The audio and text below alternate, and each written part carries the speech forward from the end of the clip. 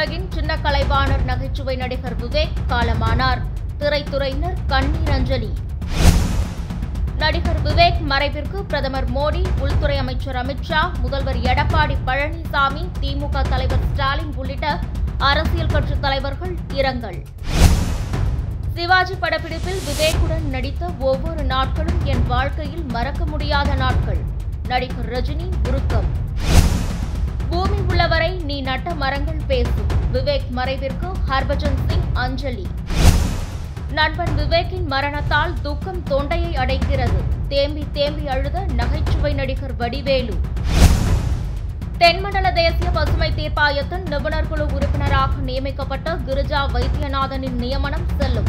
இடைக்கால தடையை நீக்கி உத்தரவிட்டது உயர்நீதிமன்றம். பாலிவுட் நடிகர் சோனு வீட்டிலேயே தனிமைப்படுத்திக் கொண்டதாக தகவல். ரயில் நிலையங்களிலும் ரயில்களிலும் முகக்கவசம் அணியாவிட்டால் ஐநூறு ரூபாய் அபராதம். ரயில்வே அமைச்சகம் அதிரடி. எழுபத்தி எட்டு குண்டுகள் முழங்க காவல்துறை மரியாதையுடன் விவேக்கின் உடல் தகனம். பூ உலகை விட்டு விடைபெற்றார் விவேக். கொரோனா தடுப்பூசி போட்டுக்கொண்டதற்கும் விவேக்கின் இறப்பிற்கும் சம்பந்தமில்லை.